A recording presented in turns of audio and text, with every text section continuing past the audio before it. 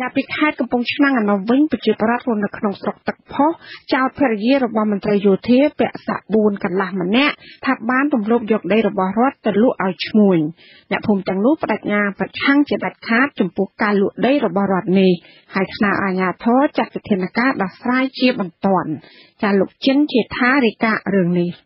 តំណាងពលរដ្ឋភូមិភ្នំតាសាមឲ្យដឹងនៅថ្ងៃទី9ខែមិថុនាថាអ្នកស្រីអ៊ុនណាវីដែលមានប្តីជាមន្ត្រីយោធាការពារព្រំដែនពាក់សាក់4កន្លះបានដាក់គ្រឿងចាក់ឈូសឆាយដីរបស់រដ្ឋប្រមាណ6ហិកតាចាប់ពីចំណុចអូក្លូតដល់ចំណុចគីឡូ90ស្ថិតនៅភូមិភ្នំតាសាមរួចរាល់កាលពី2ខែមុនហើយអ្នកស្រីអ៊ុនណាវីទើបទទួលបានប្រាក់កក់ពីឈ្មួញចំនួន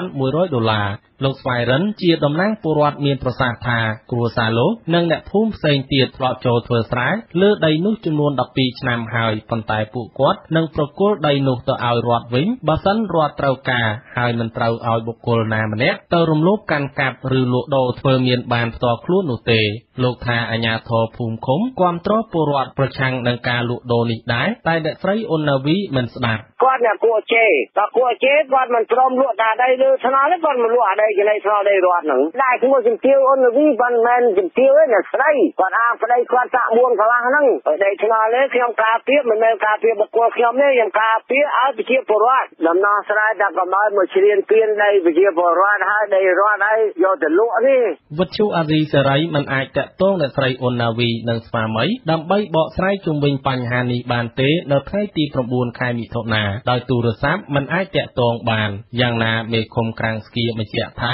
អ្នកស្រីអ៊ុនណាវីបានស្នើសុំកាន់កាប់ដីជាច្រើនហិកតាពីអតីតមេឃុំតាំងក្រសាំងនៅចំណុចនោះតាំងពីឆ្នាំ1997ប៉ុន្តែការពិតដីនោះស្ថិតនៅក្នុងទឹកដីរដ្ឋបាលរបស់ឃុំក្រាំងស្គីហើយអាជ្ញាធរឃុំនិងស្រុកបានដោះស្រាយបញ្ហានេះចោះហើយអ្នកស្រីអ៊ុនណាវីក៏បានលក់ដីនោះអស់ជាយូរមកហើយដែរ មេឃុំក្រាំងស្គៀលោកគង់សំអ៊ីមងឿងឆ្ងល់ថាហេតុអ្វីបានជាគ្រួសារអ្នកស្រីអ៊ុនណាវីទៅខែខាំងដីចំណីផ្លូវដែលប្រាប់ឲ្យរូបលោក ជាមេឃុំទៅរុះរើខ្ទមរបស់ពលរដ្ឋពីរឬ3ខ្នងចេញពីដីនោះទៀតលោកថាពលរដ្ឋអាចតាំងទីលំនៅលើដីនោះបណ្ដោះអាសន្នបាន តែនៅពេលណារដ្ឋត្រូវការនឹងដកយកវិញ ហើយពេលនេះលោកក៏មិនអាចទៅបណ្ដេញពលរដ្ឋចេញតាមការបញ្ជារបស់ប្តីរបស់អ្នកស្រីអ៊ុនណាវីបានដែរគាត់ចោទថាខ្ញុំបានធ្វើចេញលិខិតឲ្យប្រជាពលរដ្ឋថាអត់មានទេអត់មានណាហ៊ានទិញឲ្យទៀតហ្នឹងនៅមកជារឿងមកឯងទៅគេដេញថ្ងៃណាហ្នឹងហើយពឹងប្រមាណតែមកដឹងហីព្រោះខ្ញុំអត់បានទិញលិខិតស្នាមឲ្យគាត់ទេទាំងអស់គ្នាហ្នឹងកន្លងទៅអ្នកស្រីអ៊ុនណាវីនិងប្តីក៏ធ្លាប់រងនៅការចោទប្រកាន់ថា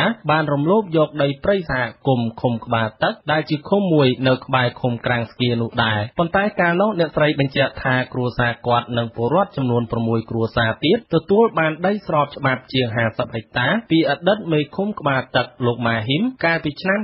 2001 ខ្ញុំបាទ ចិន ជេថាវុទ្ធុអាស៊ីសេរី ពីខេត្តកំពង់ឆ្នាំង